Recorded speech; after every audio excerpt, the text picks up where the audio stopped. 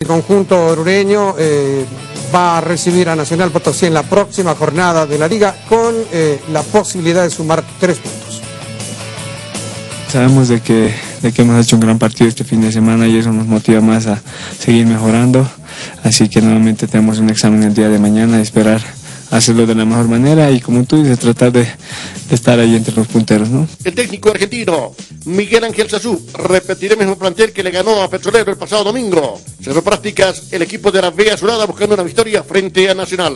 Yo creo que el domingo dimos la vuelta a la página ya pensando en el partido de, de mañana que va a ser muy duro y yo, yo creo que van a venir a, a, a querer sacar puntos acá, pero nosotros igual tenemos nuestra arma para, para sacar el partido. ¿no? La dirigencia del equipo Santo pondrá a la venta 10.000 localidades con esta escala de precios.